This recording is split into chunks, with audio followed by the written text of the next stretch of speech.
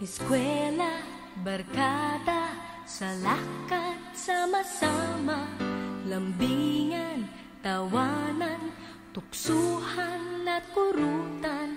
Kapag naroon ka, lalong masaya. Hinding-hindi ko na malilimot pa.